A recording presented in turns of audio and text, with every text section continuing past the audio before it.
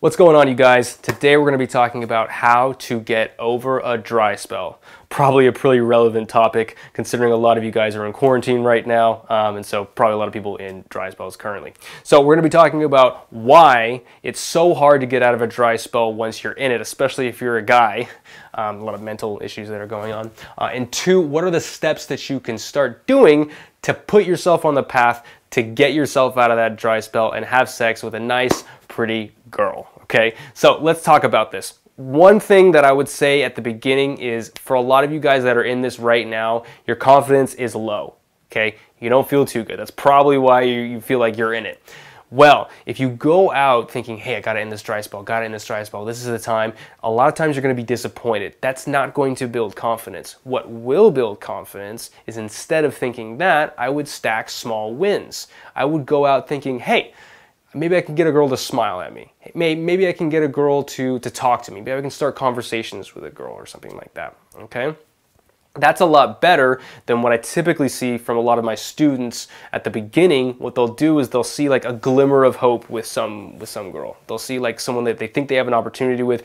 Usually this girl's got a boyfriend. Usually this girl's like just being friendly or something like that. So they put they they pursue this girl, they try really hard, and then it doesn't work out. And so as a result, they feel bad, they feel deflated, they, their confidence gets lower, um, and then you know they don't want to go out and try again because it was took so much effort, and then the process repeats itself, and that's that's how the dry spell continues. But if you stack small wins, build up confidence, a lot of times you'll see yourself kind of building momentum, okay? And I would recommend talking to a variety of different women. If you put all your eggs in one basket, chances are it's not gonna work out. But if you talk to a variety of different women, express yourself to them, maybe get a bunch of different phone numbers or something like that. The girls that text you back, the girls that stick around you, those are the girls that are interested in you. Those are the girls that would probably be more likely to be intimate with you. So if you're in this position, typically what I see a lot of guys do is, uh, well, first of all, if they're there and they feel like they have an opportunity with a girl, they usually fuck it up somehow. They usually do, they say the wrong thing or they, they self-sabotage. They think because they just, they have this streak where uh, nothing goes right for them. And so maybe they overcompensate by being needy, uh, doing all of these different things, uh, and, and it doesn't work out. So that's why I recommend to keep expressing yourself to a variety of different women don't just solely go for one girl because you think that this girl's pretty and she's going to be the answer to all your problems. Okay, stay away from that because that is uh, usually breeds the needy behavior that scares women off. But if it's a variety of women and you kind of talk to the ones that are sticking around you, that's a lot better. Now, once guys are in this position, usually the biggest problem that I see my students encountering is they judge themselves really, really harshly. They judge themselves and they also judge the girl pretty harshly too. They say, oh, this girl's not good enough for me, blah, blah, blah, blah. Or they, they, they think of a reason why it won't work out okay? Now, I would encourage you to not judge yourself so harshly. I would encourage you to not judge the girl so harshly. So, like, this might take a reevaluation of your standards. Are your standards way too high for who you are? The way you know that they're too high for who you are is if, like, let's say you only go for 10s, that's your thing. Now, ask yourself, Am I really a 10? Do I possess the qualities of one? Do I possess the, something that she would be interested in if, if I am indeed going for that girl who is a 10, quote unquote? Okay, and if you don't have those, then maybe it's time to reevaluate what uh, what kinds of girls you should be going for.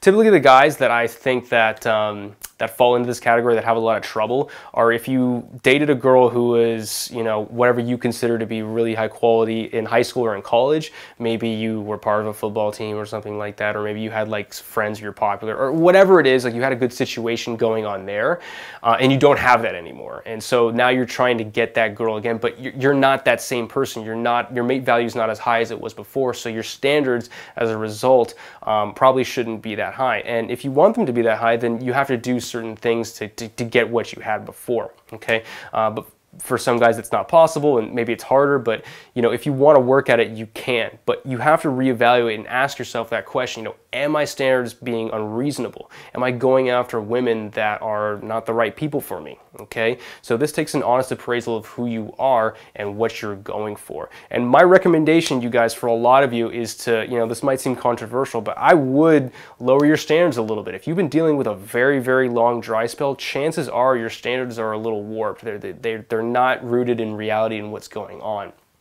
And so, you know, if you do the honest appraisal of yourself and you just you decide that, hey, you know, my standards are right where they need to be, I, I, would, you know, then maybe extend your dry spell and just wait for the right person to come along, okay?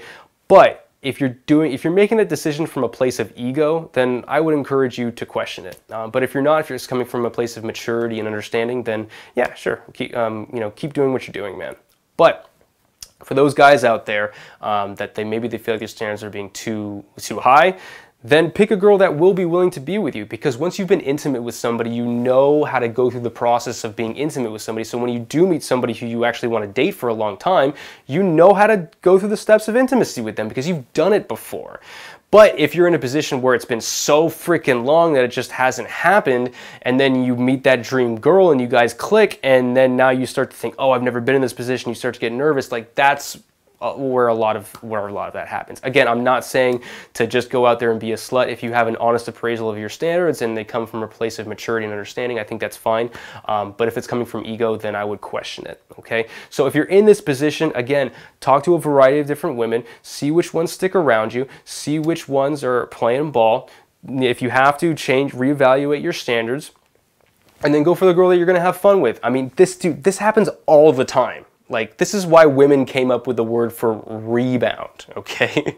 now, I don't, I don't know what the equivalent term for a guy is, um, maybe drought buster, but this is basically a girl that you have no intention of dating, but you have a little bit of fun with that gets you right back in the game.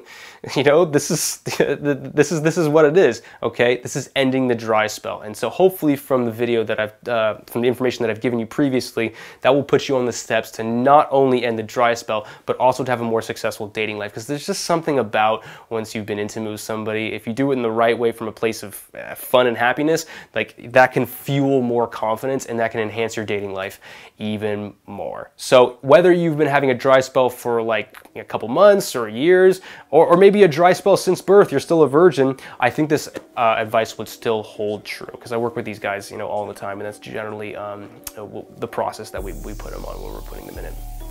Okay, cool. Well, if you guys the consider subscribing. And if you're interested in getting coached by me one-on-one -on -one or in one of my other programs, there's a form down below. Fill it out. We'd love to hear from you. Thanks a lot, you guys. Good luck out there.